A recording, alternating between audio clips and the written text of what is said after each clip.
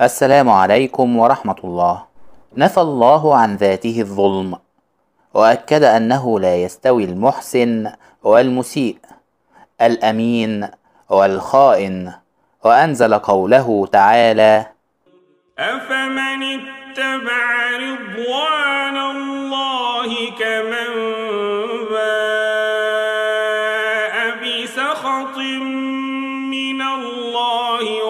ومأواه جهنم وبئس المصير. تلك الآية الكريمة من الثوابت والمسلمات التي لا مجال فيها للجدال أو النقاش. ولكن يا للعجب هناك من ينكر تلك الآية الكريمة ويتعجب منها. هل هناك منصف يساوي بين المؤمن والكافر؟ بل هل هناك منصف يساوي بين من سلك طريق الإيمان والخير والاعمال الصالحة ومن سلك سواه؟ هل يستوي من اتبع محمد صلى الله عليه وسلم ومن جحد رسالته؟ نعم للأسف الشديد. هناك من يساوي بين هؤلاء وأولئك بدعوى الإنسانية والرحمة والأخوة وغيرها. فهل نجاريهم فيما يقولون أم ننير لهم دربهم ونزيل الغشاوة عن أعينهم؟ قال الله تعالى أفنجعل المسلمين كالمجرمين؟ ما لكم كيف تحكمون؟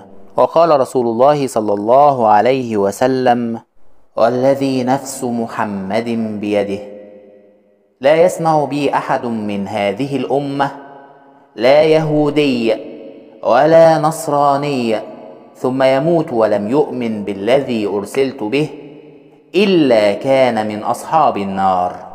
فلا ينتظر من ذاك السؤال جواب وإنما هو استفهام لتقرير حقيقة مؤكدة يعلمها الجميع. أفمن كان قصده رضوان الله؟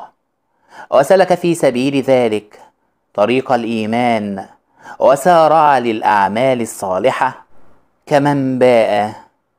ورجع بسخط من الله ومأواه ومستقره جهنم وساءت مرجعا ومستقرا ومصيرا.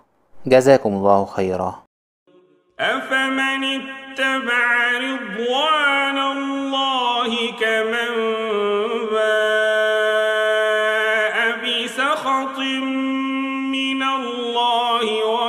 ومأواه جهنم وبئس المصير.